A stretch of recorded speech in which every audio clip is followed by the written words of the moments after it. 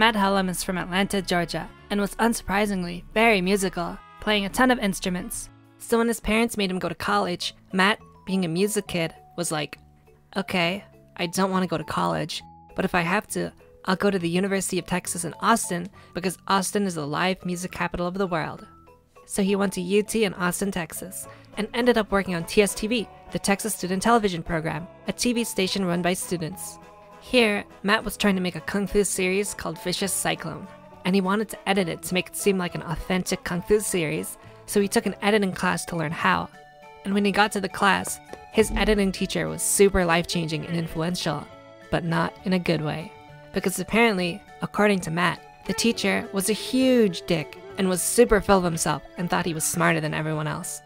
And that teacher's name was Burnie Burns.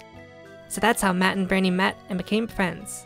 And from this, they created the show Sneak Peek, a movie review show for TSTV.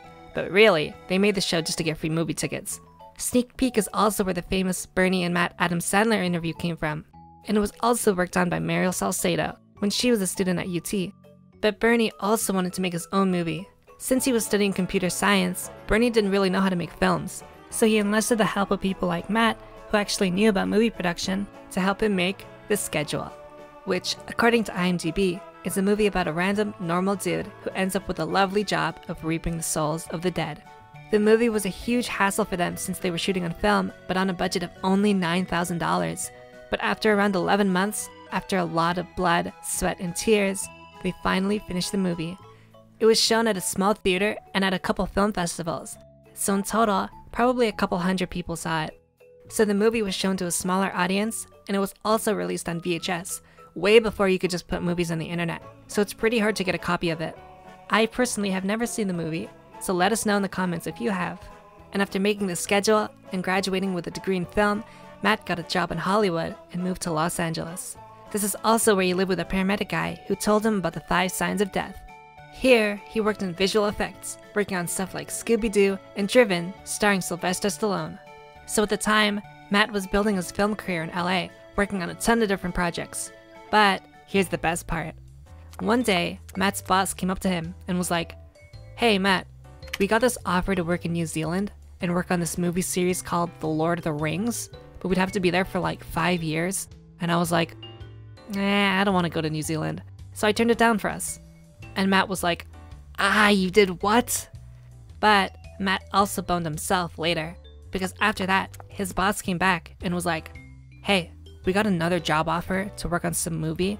It's about some dude and he goes into a computer or something. And Matt was like, That sounds stupid. I don't want to work on that. So Matt turned it down. That movie was The Matrix, which would go on to win countless awards, especially in visual effects. So Matt could have done the visual effects for The Lord of the Rings and The Matrix, and definitely would have gotten a ton of awards for all of them, but ended up working on none of them. But what he did do was instead he helped start a cute little show on the internet. Because in the early 2000s, Matt saw a video on the web that would change his whole life. Matt, while working on some movies, saw one of his employees goofing off, watching some random internet videos. And he was like, oh boy, that lazy dude is goofing off again. I better straighten him up. So he went over, and what he saw stunned him. It was Gus. His employee was watching a video of Gus. And Matt was like, What? Why do you have a video of Gus on your computer? Do you know him? What's going on? And the guy was like, Who's Gus? I have no idea what you're talking about, dude. Because it turns out that Burnie and Gus, all the way in Austin, made a parody of the Apple Switch commercials, where Gus played a gamer who switched to a Mac and was making fun of how gaming on a Mac sucks balls. And when they posted it, it got super popular and was being shared all over the place. And now it made its way to LA and to one of Matt's employees. And when Matt watched it, he recognized that the jokes were written in Burnie's writing style. So he called Burnie and was like, Hey, I just saw this video of Gus and it seemed like something you'd write. Is this you? And Burnie was like, Yeah, we made that video, but we just put it on the internet like six hours ago. How did you get it? This may seem like a no brainer now. Like, yeah, of course a viral video would spread quickly on the internet, duh. But you have to remember that this was in the early 2000s.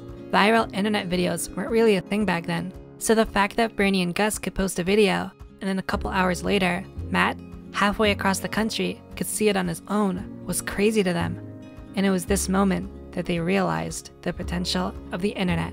They realized that on the web, things could spread on their own and get incredibly popular, with people all over the world watching.